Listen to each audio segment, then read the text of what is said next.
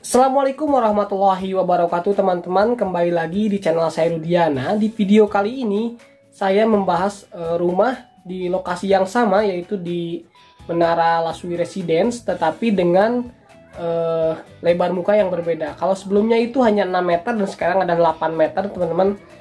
Uh, Tipenya sama. Kalau sebelumnya itu tipe A dan inilah tipe B nya Dan untuk melihat videonya Teman-teman simak video ini sampai selesai dan jangan lupa subscribe dulu.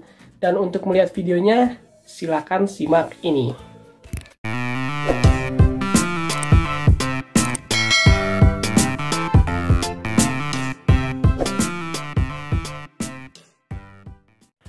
Nah teman-teman ini adalah rumahnya bisa dilihat kalau dari segi warna mungkin ini hampir sama ya dengan yang kemarin tetapi kalau dari keseluruhan tentu sangat berbeda ya. Di sini eh, lebarnya 8 meter, kalau sebelumnya itu hanya 6 meter ya teman-teman. Tetapi untuk penggunaan bahan material itu hampir sama dan untuk tipenya juga ini adalah tipe 45.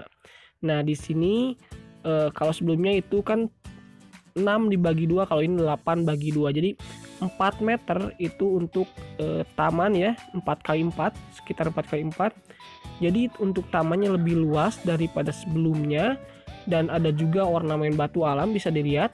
Ornamen batu alamnya sama terus jendelanya juga hampir sama warnanya itu di pelitur tapi teras itu berbeda ya teman-teman. Teras bisa dilihat hanya sedikit. Nah di sini topinya lebih panjang ini ya. Kalau sebelumnya memanjang dan menutup di bawahnya itu terasnya. Kalau ini di atasnya topinya agak uh, agak panjang ya. Nah, ini untuk carport sendiri lebih lebar dan lebih luas ya. Ini 4 kali eh, 4,5 ya. Nah, ini warna coklatnya ini sama tingginya 4 meter.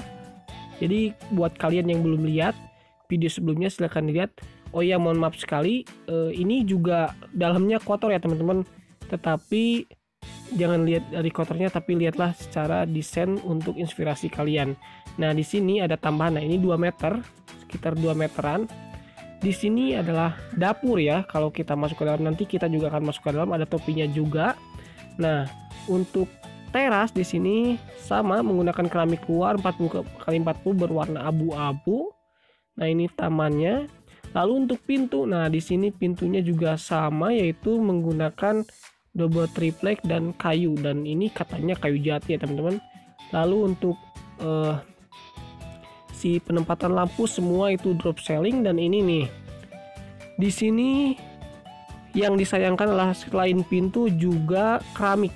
Keramiknya 40 kali 40 berwarna putih ya bercorak kayu. Nah ini bisa dilihat. Ini tentu lebih lebar ya daripada lebih panjang ya maksudnya lebih panjang daripada yang kemarin karena e, penempatan dapur yang ada di di pinggir ya teman-teman. Nah ini untuk kamarnya di sini kamar bisa dilihat untuk kamar juga lebih luas ya teman-teman. Nah ini bisa dilihat dua kamar dan menghimpit kamar mandi juga sama ya menghimpit kamar mandi. Nah ini arah keluarnya dari kanan ya dari pintu kanan atau dari pintu kiri nantinya. Nah di sini ini untuk dapur. Nah dapurnya di sini teman-teman. Jadi udara sirkulasinya bagus ya kalau dapur di situ.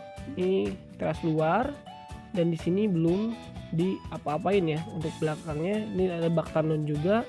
Nah itu simbangnya lagi ngerjain. Jadi ini rumah belum selesai teman-teman. Nah di sini untuk kamar kita lihat. Kamar luasnya agak sedikit lebar dari uh, yang kemarin tetapi tidak terlalu jauh ya teman tetap tiga kali tiga lebih lah lebihnya mungkin 15 sentian. Nah ini untuk bagian plafon atas cukup tinggi sama tingginya. Nah di sini ada jendela. Kalau sebelumnya kan jendelanya cuma satu kalau ini dua ya teman-teman. Dan udaranya juga e, lebih banyak ya masuknya. Dan itu tentu menjadikan rumah lebih sehat. Nah, di sini kamar mandinya eh, di keramik dindingnya sudah sampai atas dan ada wastafalnya. Dan ini lebih luas ya. Ini wastafel dan nah ini ada klosetnya, udah ada klosetnya ini klosetnya duduk. ada gradasi ya untuk keramiknya berbeda jadi keramik satu dinding dan satu dindingnya lagi berbeda nah ini untuk kamar keduanya teman-teman pintu jendela eh, itu berbahan bahan dasarnya itu sama ya. Semua jadi sama. Nah di sini untuk kamar utama ini tiga kali tiga. Nah kalau ini lebih sempit ya daripada yang di belakang. Tapi pencahayaan tetap bagus. Nah mungkin hanya itu teman-teman untuk dalam rumahnya dan semoga ini bisa menjadi inspirasi atau untuk kalian yang sedang bangun rumah. Dan terima kasih. Assalamualaikum warahmatullahi